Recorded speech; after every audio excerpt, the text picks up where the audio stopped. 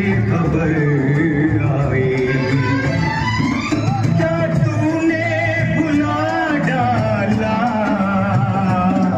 क्या तूने बुला डाला।